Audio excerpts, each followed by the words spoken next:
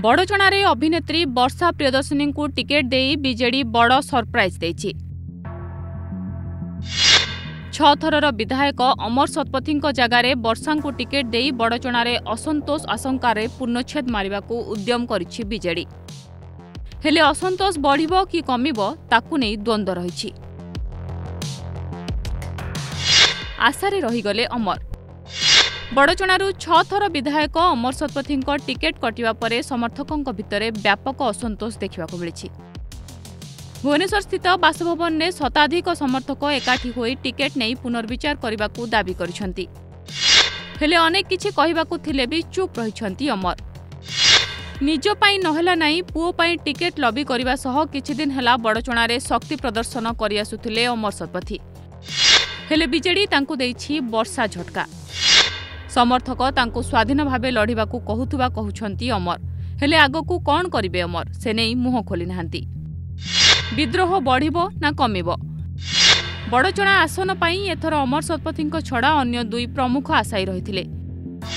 ନିକଟରେ ପୂର୍ବତନ କଂଗ୍ରେସ ନେତା ସୀତାକାନ୍ତ ମହାପାତ୍ରଙ୍କ ପୁଅ ରାଜନାରାୟଣ ଶଙ୍ଖ ଧରିଥିଲେ। ତାଙ୍କୁ ବଡ଼ଚଣାରେ ବିଜେଡି ପ୍ରାର୍ଥୀ କରିପାରେ ବୋଲି ଚର୍ଚ୍ଚା ହେଉଥିଲା। ସେହିପରି କଂଗ୍ରେସ ଛାଡ଼ି ବିଜେଡି ଆସିଥିବା ଜନ୍ମେଜୟ ଲେଙ୍କା ବି ଦାବିଦାର ଥିଲେ।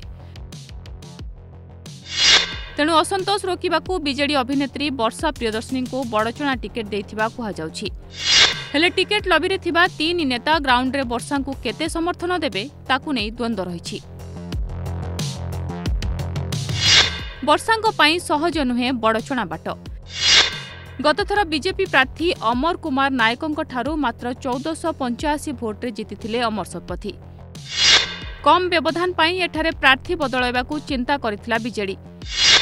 ହେଲେ ଅମର ନାୟକଙ୍କ ସାମ୍ନାରେ ବଡ଼ଚଣା ରାଜନୀତିର ଧାର ଧରୁନଥିବା ବର୍ଷାଙ୍କୁ ପ୍ରାର୍ଥୀ କରି ବିଜେଡି ବଡ଼ ରିସ୍କ ନେଇଥିବା ଚର୍ଚ୍ଚା ହେଉଛି। କାରଣ ବିଜେପିରୁ ପ୍ରାର୍ଥୀ ହୋଇଥିବା ଅମର ନାୟକଙ୍କର ବଡ଼ଚଣାରେ ଭଲ ଦଖଲ ରହିଛି। ଗତଥର ସେ ଅମର ଶତପଥୀଙ୍କୁ କଡ଼ା ଟକ୍କର ଦେଇଥିଲେ। ତେଣୁ ତାଙ୍କୁ ସାମ୍ନା କରିବା ବର୍ଷାଙ୍କ ପାଇଁ ସେତେ ସହଜ ହେବନି। ଅମର ଶତପଥୀ ଉଣେଇଶହ ନବେ ଉଣେଇଶହ ପଞ୍ଚାନବେରେ ବଡ଼ଚଣା ନିର୍ବାଚନ ମଣ୍ଡଳୀରୁ ଜନତା ଦଳ ବିଧାୟକ ଭାବେ ନିର୍ବାଚିତ ହୋଇଥିଲେ। ଏହାପରେ ବିଜେଡିରେ ସାମିଲ ହୋଇଥିଲେ। ଦୁଇହଜାର ମସିହାରେ ବିଜେଡିରୁ ପୁଣି ବିଧାୟକ ହୋଇଥିଲେ ପରେ ଏନ୍ସିପିରେ ଯୋଗ ଦେଇ ଦୁଇହଜାର ନଅରେ ବିଧାୟକ ହୋଇଥିଲେ ପରେ ବିଜେଡିକୁ ଫେରିଥିଲେ। ଉଣେଇଶହ ନବେରୁ କେବଳ ଦୁଇହଜାର ଚାରିକୁ ଛାଡ଼ିଦେଲେ ସବୁ ନିର୍ବାଚନ ଜିତିଛନ୍ତି ଅମର ଶତପଥୀ। ରିପୋର୍ଟ ଓଡ଼ିଶା ସମ୍ବାଦ। Bye.